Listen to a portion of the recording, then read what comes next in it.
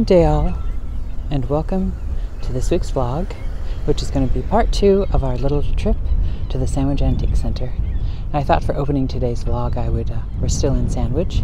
We're down at the uh, the Sandwich Canal. I mean the Sandwich uh, Harbor, and here you can see this is the sort of the Cape Cod Canal Visitor Center here in Sandwich, and uh, this is the opening of the canal. Which leads through on and passes through to the other side so large ships can get through. And you can see in the distance the Sagamore Bridge, one of two bridges which lead from the mainland to Cape Cod. And uh, the second bridge, which is down the other side of the Cape, is uh, the Bourne Bridge. So I just thought I'd open today at the opening of the canal,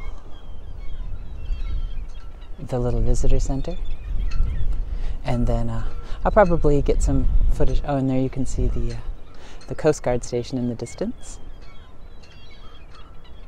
And then I'll probably uh, maybe put in some footage on the drive showing the harbor as we uh, drive by. So for now, let's just get into our the rest of the visit to the Sandwich Antique Center. All right, let's get to it.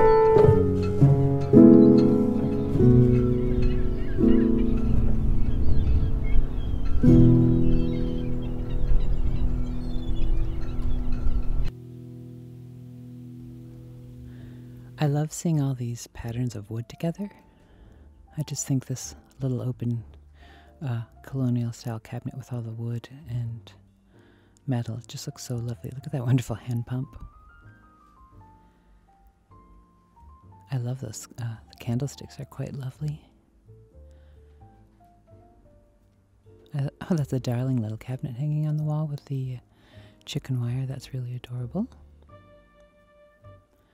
And I love the bird on the big pot here. You can see the cost. It is a quite uh, lovely version of it. It's from 1880s. Really pretty.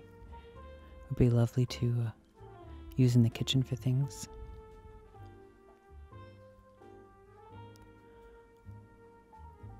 This is just a pretty display. It's so nice to see uh, linens and such. Oh, what a darling old watering can.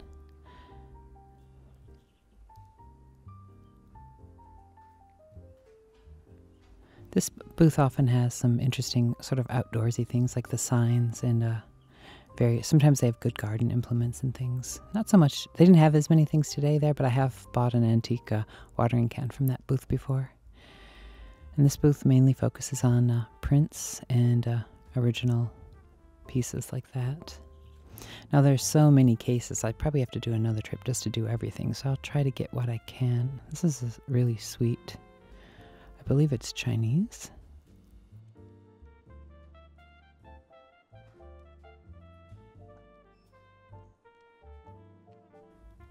Simple depression press glass. A little, I love brown and white transferware, darling little jug, and of course the quintessential blue and white, blue willow. I look at these um, egg cups every time I come in here, and they are still here. I have a feeling one day they are going to be mine. I just have to wait for the right time that I feel it's worth the cost. And of course, uh, some of the blue willow, of course, isn't necessarily rare, but um, I'm always adding to my own blue willow because it's my main daily use china. So I have a collection. You know, some things are modern pieces, um, just because they're not as uh, you don't worry as much about putting them in the dishwasher. So many various cut glass. Oh, darling old inkwell.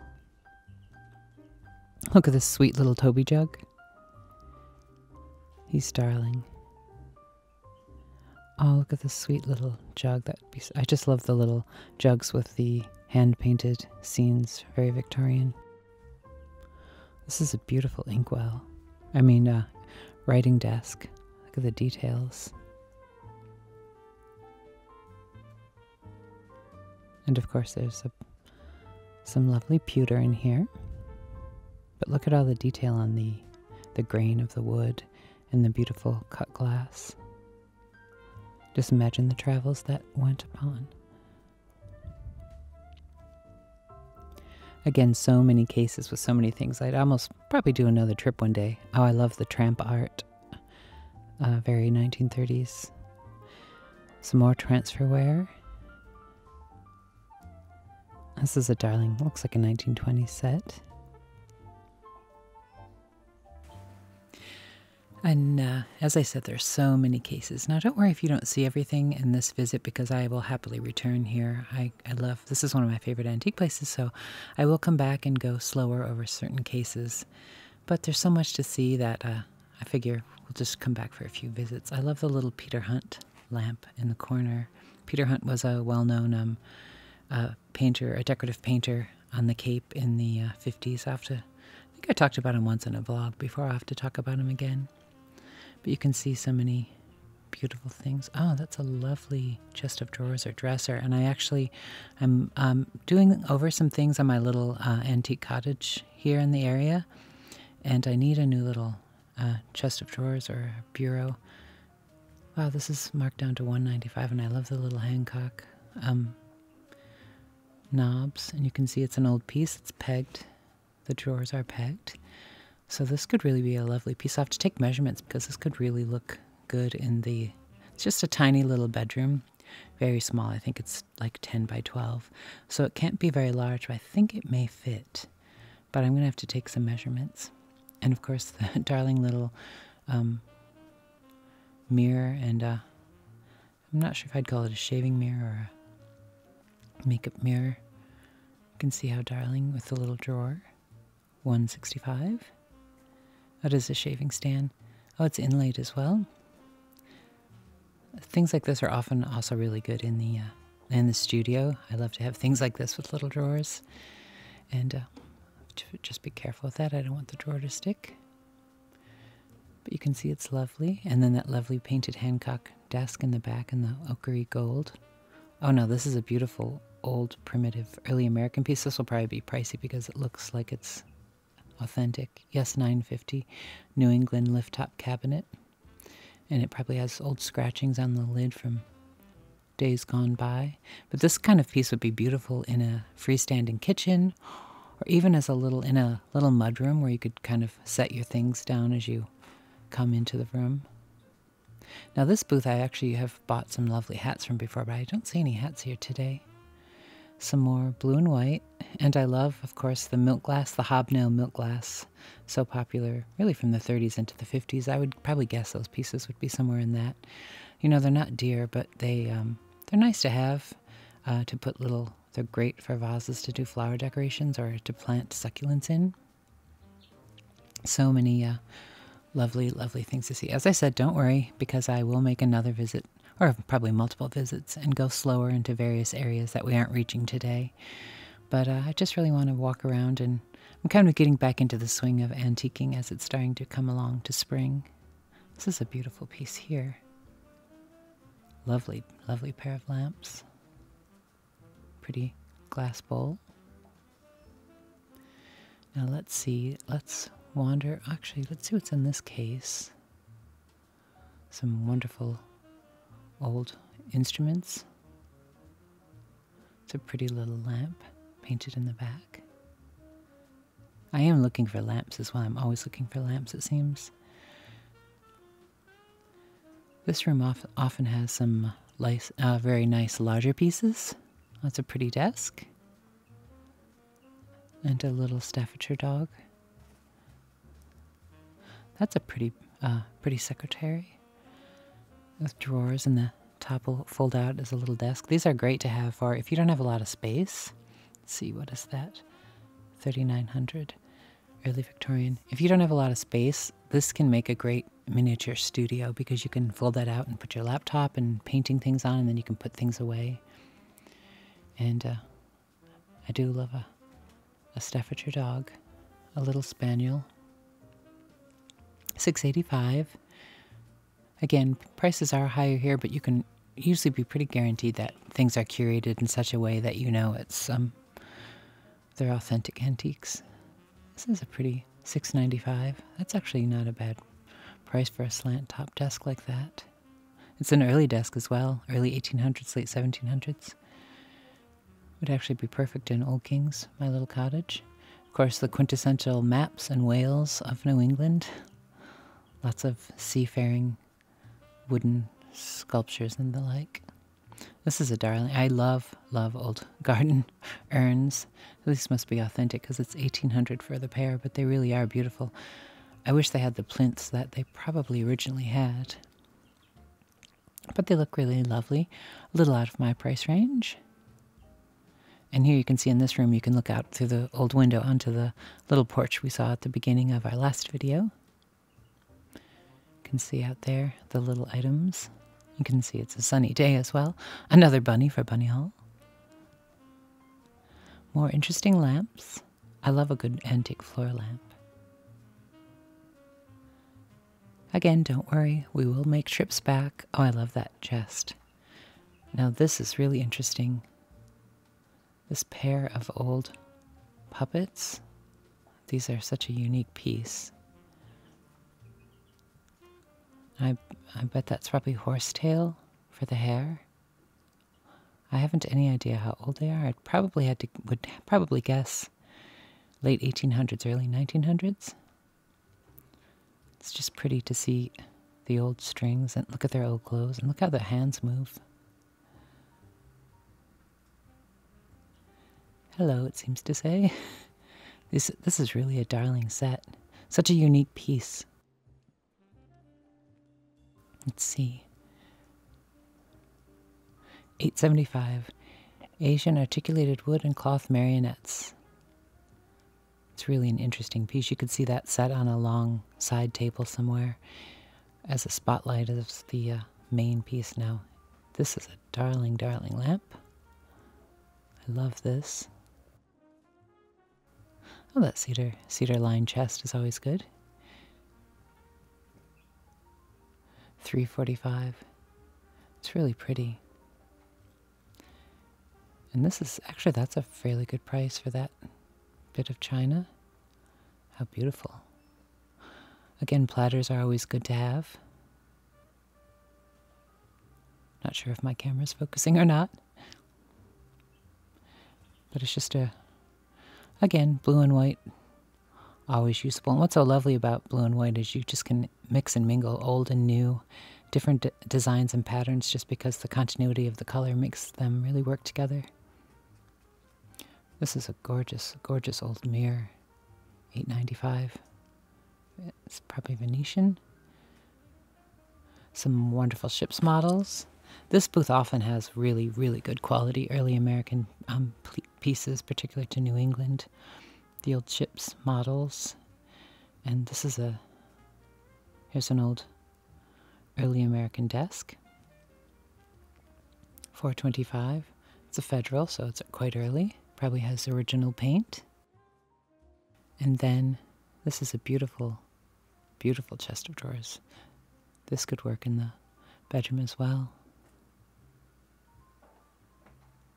But you can see 18th century a little out of my price range for the particular project I'm working on, but what a lovely piece. And of course, nautical paintings, ships models.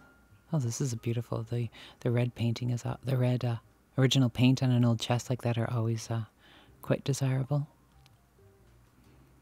It's 850. We're lucky to have quite a few blanket chests that we just inherited luckily in the house. Oh, here's a beautiful tiger maple. This is gorgeous. I love tiger maple. That little side stand, you could uh, picture that in a an old New England house and uh, the equivalent um, early Georgian ladies sitting about it doing their needlework. A gorgeous, gorgeous painting. Of course, I, the tags are always flipped the wrong way. I can never get them. Let's see. 895. Lovely frame as well.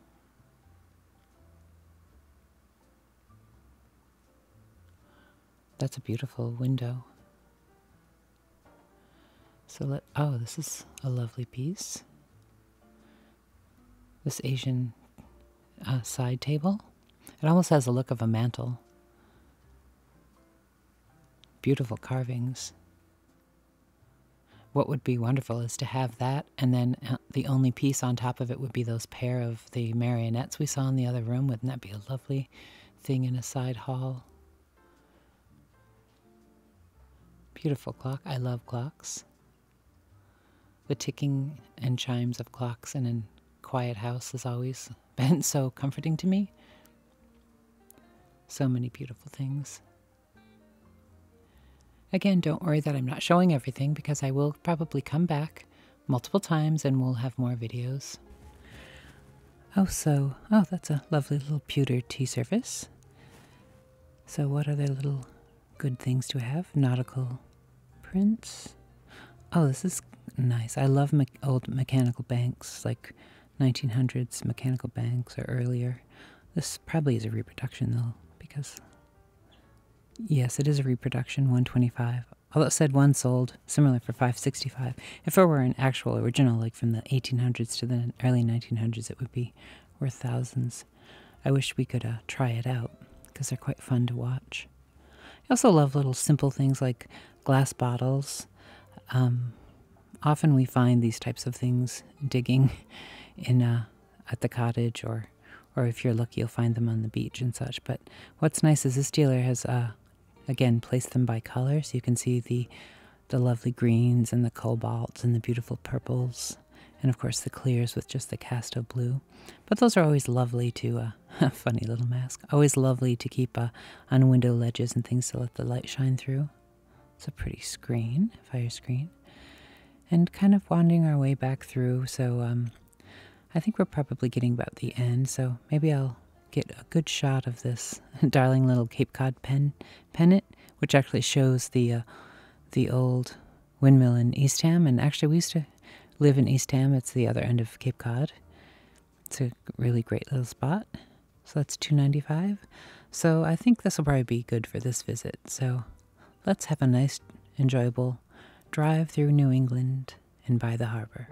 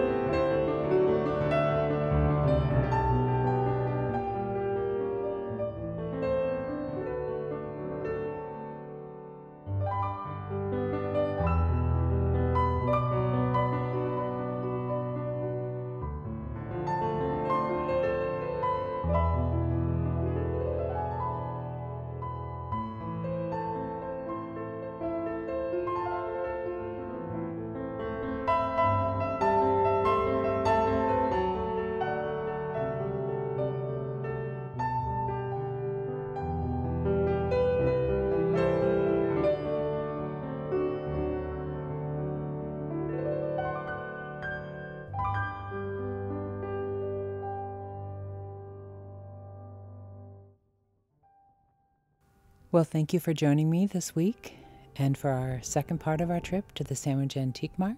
And I hope you enjoyed that. And we will definitely return again. And I think I'm going to close, besides watching a fisherman working here in the harbor, I'm going to close with one of my own paintings inspired by seaside living. It's called To the Lighthouse, also inspired by Virginia Woolf. And I thank you again for joining me for this week's vlog and I shall see you next week and in the comments during the week. And as always, remember, stay creative. Cheers.